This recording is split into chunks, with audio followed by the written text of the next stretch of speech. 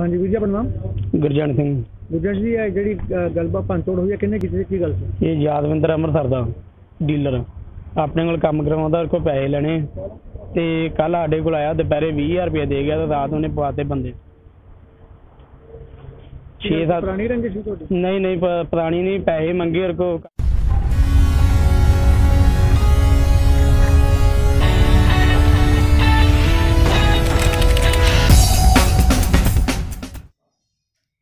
पैसे के लेन देन को लेकर की गई गोलीबारी। खबर गुरुनगरी अमृतसर से है। गुरुनगरी अमृतसर में पैसे के लेन देन को लेकर मोटर गैराज पर गोलीबारी की गई। गनीमत रही कि गोलियाँ किसी को लगी नहीं। दिन दहाड़े हुई फायरिंग से इलाके में दहशत फैल गई। मामला अमृतसर के थाना तरसिका के कस्बा टांगरा का है, जहाँ एक मोटर गैराज पर कुछ लोगों ने अंधाधुंध फायरिंग की।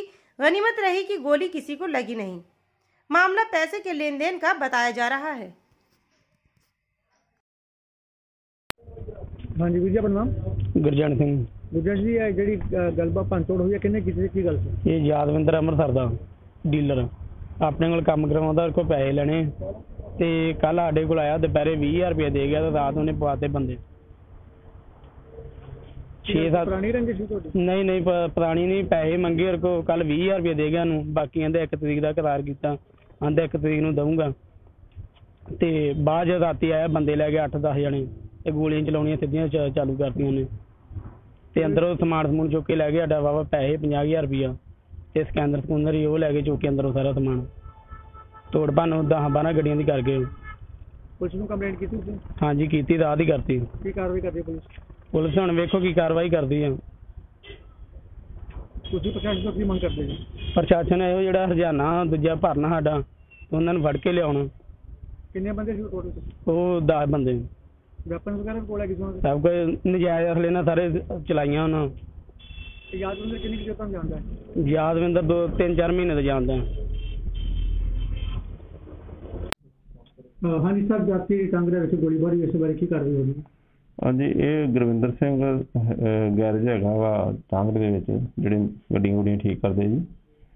ਇਹਨਾਂ ਨੇ ਦੱਸਿਆ ਸਾਨੂੰ ਸਾਨੂੰ ਆਣ ਕੇ ਵੀ ਰਾਤ ਜਿਹੜੀ ਇਦਾਂ ਦਾ ਕੋਈ ਗੋਲੀ ਚੱਲੀ ਆ। ਉਹਨੇ ਇਹਨਾਂ ਪੁੱਛਿਆ ਵੀ ਕਿਸ ਕਾਰਨ ਚੱਲੀ ਹੈ? ਇਹਨਾਂ ਦੱਸਿਆ ਵੀ ਇੱਕ ਪਹਿਲਾਂ ਕੋਈ ਗੱਡੀ ਠੀਕ ਹੋਣ ਵਾਸਤੇ ਸਾਡੇ ਕੋਲ ਆਈ ਸੀ। ਉਹ ਗੱਡੀ ਦਾ ਜਿਹੜਾ ਬਿੱਲ ਸੀ, ਉਹ ਨਹੀਂ ਸੀ ਦਿੱਤਾ ਉਹਨੇ, ਤਾਂ ਅਸੀਂ ਉਹਨੂੰ ਆਖਿਆ ਵੀ ਤੁਸੀਂ ਬਿੱਲ ਨਹੀਂ ਦਿੱਤਾ। ਉਹ ਕਹਿੰਦੇ ਵੀ ਚਲੋ, ਬਿੱਲ ਬਾਅਦ ਚ ਅਸੀਂ ਤੁਹਾਨੂੰ ਦੇ ਦਾਂਗੇ। ਤੇ ਇਹਨਾਂ ਨੇ ਉਹ ਗੱਡੀ ਜਿਹੜੀ ਆ ਲਵਾ ਲਈ ਸੀ। ਤੇ ਮੁੜ ਕੇ ਬੰਦਾ ਸ਼ਾਮ ਨੂੰ ਆਇਆ, ਉਹ ਗੱਡੀ ਵਾਲਾ, ਉਹ 20000 ਰੁਪਏ ਇਹਨਾਂ ਨੂੰ ਦੇ ਗਿਆ। ਬਾਕੀ ਪੈਸੇ ਰਹਿੰਦੇ ਸੀ। ਇਹਨਾਂ ਨੇ ਗੱਡੀ ਉਹਨਾਂ ਨੂੰ ਦੇ ਦਿੱਤੀ ਆ। ਉਸ ਤੋਂ ਬਾਅਦ 11:30 ਵਜੇ ਇਹ ਜਿਹੜੇ ਆ ਕੋਈ ਬੰਦੇ ਆਏ ਨਾਮ ਵਿਅਕਤੀ ਉਹਨਾਂ ਨੇ ਨਾ ਗੈਰ ਦੇ ਵਿੱਚ ਜਿਹੜੀ ਇੱਕ ਭੰਨਤੋੜ ਕੀਤੀ ਆ ਤੇ ਵਾਈਫਾਈ ਕੀਤੇ ਆ। ਜਿਹੜੇ ਇਹਨਾਂ ਨੇ ਹੁਣ ਤੱਕ ਇਹਨਾਂ ਨੂੰ, ਜਿਹੜਾ ਇਹਨਾਂ